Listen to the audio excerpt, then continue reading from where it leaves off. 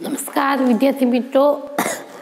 આપણે આજના લેક્ચરમાં ડેડકાનું એક તો શ્વસન તંત્ર, એના શ્વસન અંગ કયા કયા હોય એના વિશે અને પ્લસ ડેડકાનું રુધિર પરિવહન તંત્ર વિશે આપણે અભ્યાસ કરવાનો છે. તો પહેલાં તો પેલો ટોપિક આજનો આપણે જોઈએ તો કે ડેડકાનું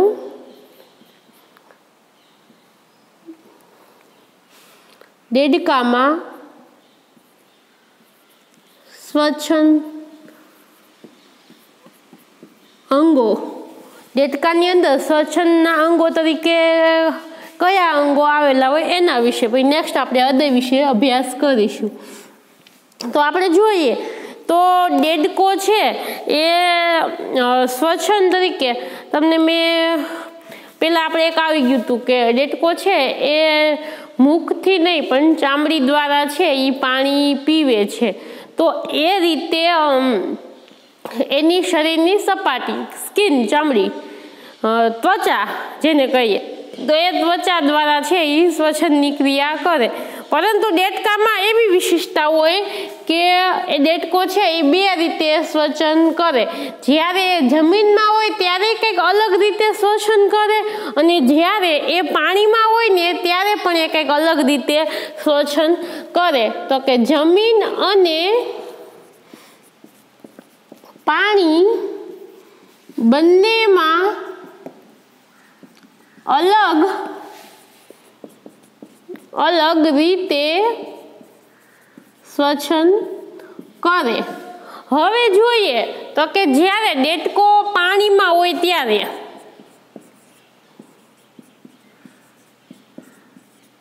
ત્યારે. તો ત્યારે છે ને એ ત્વચા દ્વારા શ્વસન લે. એ કઈ રીતે એ પણ હમણાં કહીએ. તો દ્વારા શ્વસન કરે, એટલે કે શ્વાસ લે. શ્વસન કરે એટલે કે શ્વાસ લેવો. આપણે કેમ નાક દ્વારા શ્વાસ લે અને ફેફસા દ્વારા શ્વસનની ક્રિયા કરીએ એ રીતે. તો એ ત્વચા દ્વારા શ્વસન કરે, તો એને કહેવાય ત્વચીય, સોરી,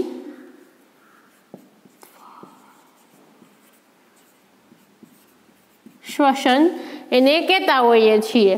હવે આપણે જોઈએ તો કઈ રીતે? તો કે ત્વચા દ્વારા એ પાણી લઈને એ પાણીમાં છે ને દ્રાવ્ય એટલે કે ઓગળેલો ઓક્સિજનનું પ્રમાણ હોય. એ દ્રાવ્ય ઓક્સિજનનો એ શ્વાસ માટે ઉપયોગ કરી લે. તો કે પાણી માં હોય ત્યારે એ પાણી ત્વચા દ્વારા શોષણ કરે.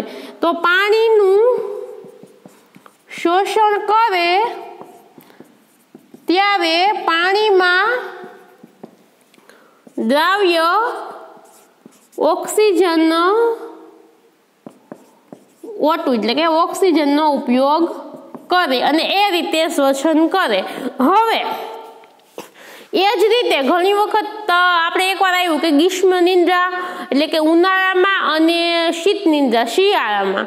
કે ગ્રીષ્મ, દેડકો છે એ ગ્રીષ્મ નિંદ્રા અને શીત નિંદ્રામાં જતો રહે. એટલે કે શિયાળો અને ઉનાળો દરમિયાન છે દેડકો ખૂબ જમીનમાં ઊંડે રહેતા હોય. તો ત્યારે શ્વસનની ક્રિયા છે ને, એ પણ દેડકો છે ને એ ત્વચા દ્વારા કરે. તો એ પણ આમાં સમાવેશ કરી દઈએ. તો ગ્રીષ્મ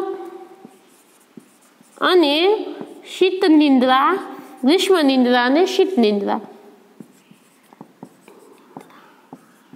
માં ડેટકો જાય એ સમયે પણ ત્વચા દ્વારા શ્વસન કરે. હવે નેક્સ્ટ જોઈએ. તો હવે જમીન ઉપર હોય ત્યારે કઈ રીતે શ્વસન કરે? તો એ માટેના અંગો. જમીન ઉપર હોય ત્યારે. તો તેના માટે છે એ ત્યારે છે એ જે શ્વસનમાં ઓક્સિજન લે એ કઈ રીતે? તો કે ફેફસા દ્વારા, પછી બીજું છે ત્વચા, પછી હજી એક મુખ ગુહા. જો આ ત્રણ રીતે છે એ શ્વસન કરે, ફેફસા દ્વારા કે ફેફસા દ્વારા શ્વસન કઈ રીતે થાય? તો કે એની અંદર તમને ખ્યાલ છે કે દેડકાની અંદર આપણે કાલે જે ઓલી આકૃતિ દોરી હતી, પાચન માર્ગની એમાં તમને લંબાયેલા કોથળી જેવા ગુલાબી રંગના બે છે એ ફેફસા, એક જોડમાં, એટલે કે બંને બાજુ એક એક કે જે ઉરસ પ્રદેશમાં આવેલા હોય છે. તો એટલે કે ધડ ભાગ, દેડકાનું જે ધડ ભાગ છે, એમાં ઉરસ ભાગમાં આવેલું હોય છે. તો એ શું કરે? તો કે દેડકાની અંદર જે નાસિકા છિદ્ર હોય ત્યાંથી છે, એ હવા મારફતે છે એ શ્વસનની પ્રક્રિયા થાય છે. એ મુખ ગુહાની અંદરથી લઈ અને કંબાઈને એ હવા ફેફસામાં જાય. તો એ રીતે પણ શ્વસન થાય. અને બીજી રીતે જો કહીએ, તો કે જેને ફેફસા દ્વારા શ્વસન થાય ને એને ફુફુસીય શ્વસન કહેવાય. પેલા તો આપણે આમાં ત્વચા દ્વારા તો તમને ખ્યાલ જ છે કે કઈ રીતે થાય ને એને ત્વચીય શ્વસન કહેવાય. મુખ ગુહા તો કે મુખ વાટે છે, એ પણ આપણે કેમ ઘણી વખત છે, એ વધારે પડતી શરદી થાય, ત્યારે નાક બંધ થઈ જાય, તો આપણે મોઢા વાટે હવા લેતા હોઈએ, તો એ મુખ ગુહાનું શ્વસન પણ હવે ફેફસાનું શ્વસન આપણે જાણવાનું છે. તો કે દેડકામાં માં, એક જોડ. એક જોડ એટલે બે, એક જોડ ફેફસા આવેલા હોય. એનું સ્થાન શું છે? તો કે ધડ પ્રદેશમાં, એ પણ કયા ભાગમાં? તો કે ઉરસ ભાગમાં. એ પણ કેવા હોય? તો કે ગુલાબી રંગના. જો ખાલી શોર્ટ વસ્તુ લખવું રંગના કોથળી જેવા લંબાયેલા. જેવા છે એ ફેફસા આવેલા હોય. જે તો કે નાસિકા છિદ્ર વાટે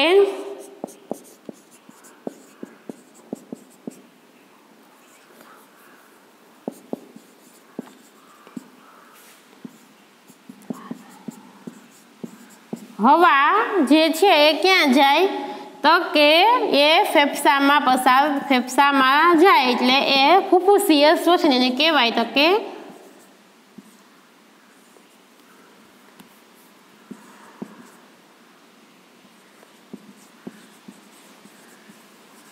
શ્વસન છે એને કહેવામાં આવે છે.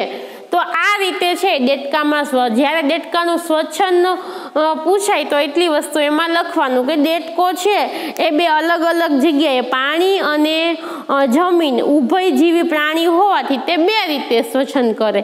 તો કે પાણીમાં હોય ત્યારે તો ચામડી વાટે એને ત્વચા દ્વારા શ્વસન થાય એટલે એને ત્વચીય અને એ જ રીતે ગ્રીષ્મ નિંદ્રા અને શીત નિંદ્રા દરમિયાન પણ ત્વચીય શ્વસન. પરંતુ જમીન ઉપર હોય ત્યારે એ શ્વસન માટે છે એ મુખ, ગુહા, મોઢા વાટે, પછી ફેફસા દ્વારા એટલે ફુફુસીય શ્વસન અને પ્લસ ચામડી દ્વારા પણ શ્વસન થાય. એ ત્રણ રીતે શ્વસન કહેવાય. તો એમાં એટલી વસ્તુ છે એ લખવી ને એના શ્વસનના અંગો કે ફેફસા છે, એ કેવા છે કેવો રંગ, આકાર, એ બધું વર્ણવવાનું.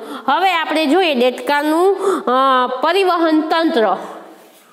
બ્લડ સર્ક્યુલેશન સિસ્ટમ આપણે આ એટલું કાઢી નાખીએ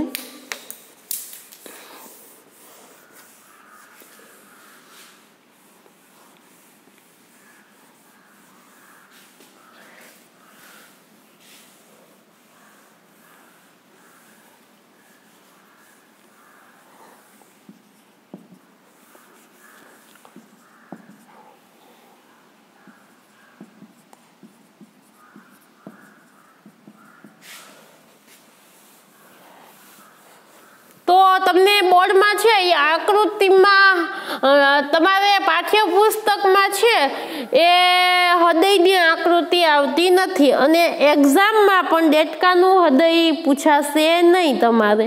પરંતુ તમને છે એ જસ્ટ માહિતી માટે અને સમજવા માટે મેં હૃદયનો પૃષ્ઠ દેખાવ, ઉપરનો દેખાવ છે એ દોરેલો છે જેથી કરીને તમને ખ્યાલ આવી શકે. તો આપણે જોઈએ ડેટકાની અંદર એનું રુધિર પરિવહન તંત્ર.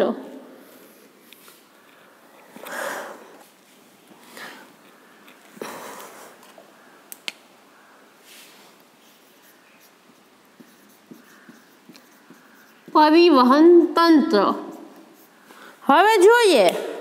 તો ડેટકાની અંદર પરિવહન તંત્રની અંદર તો જોઈએ તો કે બંધ પ્રકારનું. પરિવહન તંત્ર ધરાવે છે. કેમ તો કે એમાં રુધિરના વહન માટે એના શરીરમાં રુધિર ખુલ્લા પ્રકારનું એટલે કે રુધિર છે એ ભરેલું નથી, પરંતુ કઈ રીતે છે? તો કે એમાં રુધિર છે એ માટે હૃદય આવેલું છે, લસિકા તંત્ર આખું એનું આવેલું હોય છે. પછી પ્લસ જોઈએ તો કે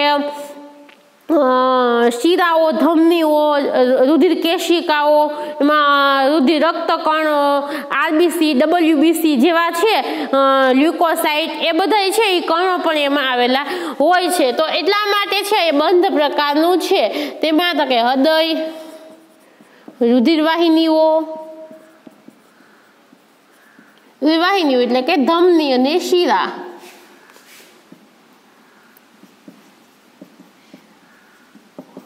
પછી તો કે લસિકા તંત્ર.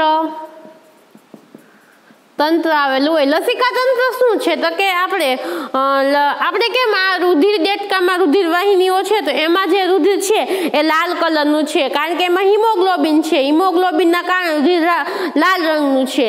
પરંતુ આ લસિકા તંત્રની અંદર આપણું જે પેશીની અંદર એ પણ રુધિર વાહિનીની જે વાહિનીઓ આખા શરીરમાં હોય ને, એની આજુબાજુ બધી આ વાહિનીઓ, લસિકા વાહિનીઓ આવેલી હોય છે. તો એ લસિકાનું આખું ઝાડું આપણા શરીરમાં પથરાયેલું છે. એ રીતે ડેટકામાં પણ એવું જ છે. તો એમાં શું હોય? તો કે પેશીય જળ હોય. જે આછા પીળા કલર રંગનું છે એ પેશીય જળ હોય જેમાં છે ને રુધિર કરતાં પ્રોટીન ને એવું બધું ઓછું હોય કે પાણી ને બીજા અન્ય દ્રવ્યો ને હવા ને એ બધું આની અંદર પાછું હોય છે. તો એ લસિકા, ગાંઠ હોય એમાં. ગાંઠો, લસિકા, વાહિની. એ બધી વસ્તુ છે એ લસિકા તંત્રની અંદર હોય. તો એ લસિકા તંત્ર આપણી ઇમ્યુનિટી માટે ઉપયોગી હોય એટલે કે રોગ પ્રતિકાર શક્તિ માટે. હવે જોઈએ તો હૃદયની અંદર છે, હવે આ બધી વસ્તુ છે એ આવેલી છે. તો હવે પ્લસ જોઈએ. તો હૃદય છે એ દેટકાની અંદર કેટલા ભાગોમાં હોય? તો હૃદય છે એ ત્રિખંડી હોય. તો કઈ રીતે? તો કે દ્વિખંડી હૃદયમાં બે છે, એ કર્ણકો હોય બે કર્ણકો અને એક ક્ષેપક હોય. ક્ષેપક આવેલું હોય છે. પછી તો કે તમે જોઈ શકો તો આ આ બંને કર્ણક છે આ કર્ણકના એકથી બે ભાગ પડેલા છે. જમણું કર્ણક અને ડાબુ કર્ણક જેને કહીએ. અને બીજું એક આ નીચેનો આખો ભાગ ક્ષેપકનો છે. અને એક એની સાથે છે. એ આ જમણા કર્ણકની સાથે આ એક ભાગ છે. ઉપર ત્રિકોણા, ત્રિકોણાકાર જેવો ભાગ કે જે શીરાનો ભાગ છે.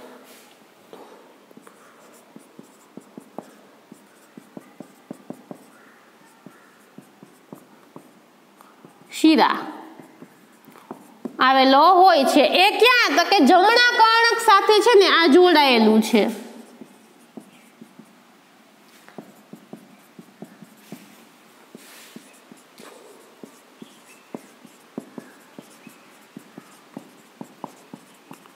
જે આ ખૂબ મોટો ભાગ છે શીરાનો અને એ એક એમાં શીરા કોટર ધરાવે છે. જે શીરા કોટર પણ એક ત્રિકોણ જેવું એક કોટર છે અને જે પણ જમણા કર્ણકમાં ખુલે છે. હવે આમાં કઈ રીતે?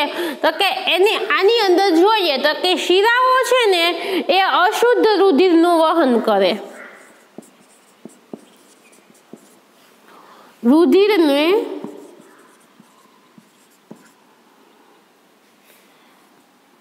શીરા અશુદ્ધ રુધિર. એટલે કે ઓક્સિજન વગરનું રુધિરનું વહન કરે અને ધમની, જો તમને ધમનીનો ભાગ પણ બતાવ્યો, તો ધમની છે એ શુદ્ધ રુધિરને વહન કરે. હવે છે એ ધમની છે ને એનું કાર્ય છે કે એ રુધિરને વિવિધ ભાગોમાં પહોંચાડી દે. જ્યારે શુદ્ધ રુધિર ધમનીના ભાગમાં આવે ને, એટલે એ શુદ્ધ રુધિર, એટલે કે ઓક્સિજનવાળું રુધિર, એ રુધિર છે ને, એ શરીરના દરેક અંગોમાં છે ને ધમની પહોંચાડે છે એમ. અંગો તરફથી રુધિર છે ને એ શીરામાં આવે. આ શીરામાં રુધિર આવે અને અહીંથી રુધિર છે એ બીજા અંગોમાં જાય. તમારે આકૃતિમાં ખાલી એટલું જ યાદ રાખવાનું છે કે તમે આકૃતિ માટે અમુક થિયરિકલ વસ્તુ વધારે યાદ રાખો એટલે આકૃતિ દોરી છે. તો કે શીરામાં શરીરના અંગોમાંથી અશુદ્ધ રુધિર આવે જ્યારે શરીરમાં શુદ્ધ રુધિર કોણ પહોંચાડે તો કે શુદ્ધ રુધિર ધમની અંગો તરફ પહોંચાડે છે કે જે દેડકાના વિવિધ અંગો એના ભાગ છે મૂત્રપિંડ છે દરેક ભાગમાં છે એ આ ધમની છે, એ રુધિરને છે, એ પહોંચાડે છે. તો એટલું છે, એ આની હવે એની અંદર રુધિરમાં વાત કરીએ, તો રુધિર છે, એ આરબીસી, એટલે કે રેડ બ્લડ સેલ કે જેને કહીએ તો એનું ફૂલ ફોર્મ લખીએ રેડ બ્લડ સેલ પછી એ જ રીતે જોઈએ તો કે એમાં ઇરિથ્રોસાઇટ પછી રુધિર રસ. આવું આવેલું હોય છે. હવે આમાં જે રક્ત આને રક્તકણ બ્લડ સેલ રક્તકણ પણ આપણે કહીએ, તો એ રક્તકણ છે ને કોષ કેન્દ્રવાળું હોય, અને એમાં છે ને એક હિમોગ્લોબિન હોય. હિમોગ્લોબિન એક પ્રકારનું પ્રોટીન છે. હિમોગ્લોબિન શું કરે? તો કે આપણે રુધિરમાં છે ને એ ઓક્સિજન, હિમોગ્લોબિનના કારણે છે એ ઓક્સિજન હોય છે અને હિમોગ્લોબિન છે ને એ રુધિરના લાલ રંગ માટે જવાબદાર છે. અને એ લસિકા તંત્રમાં હિમોગ્લોબિન નથી હોતું એમ. તો આ એટલી વસ્તુ પણ એની અંદર સમાવે છે. તો ડેટકાનું પરિવહન તંત્ર બંધ પ્રકારનું હોય, હૃદય રુધિર વાહિનીઓ લસિકા તંત્ર એ બધી વસ્તુ એમાં આવેલી હોય, હૃદય ત્રણ ખંડો, બે કર્ણક અને ક્ષેપક હોય. એમાં શિરાઓ અને ધમની હોય. શીરાઓ છે એ અશુદ્ધ રુધિરને આપણા શરીરના અંગોથી છે. હૃદયથી આ શિરાઓમાં, સોરી, શિરાઓમાં અશુદ્ધ રુધિર આવે અને એ અશુદ્ધ રુધિર શુદ્ધ થઈ અને જે પેલા જમણા કર્ણકમાંથી શેપકના ભાગે ત્યાંથી છે, એ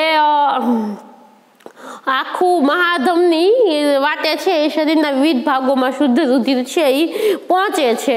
તો એ રીતે આખું છે, એની અંદર આખી પ્રક્રિયાઓ થાય હવે રુધિર છે એ રક્તકણ એટલે કે RBC, red blood cell, erythrocytes પછી હિમોગ્લોબિન રુધિરસ એ બધા વિવિધ ઘટકો છે એ ધરાવે છે. એમાં હિમોગ્લોબિન છે, એ ઓક્સિજન હિમોગ્લોબિનના કારણે રુધિરમાં દ્રાવ્ય થાય છે અને પ્લસ તો કે એ લાલ રંગ માટે જવાબદાર છે.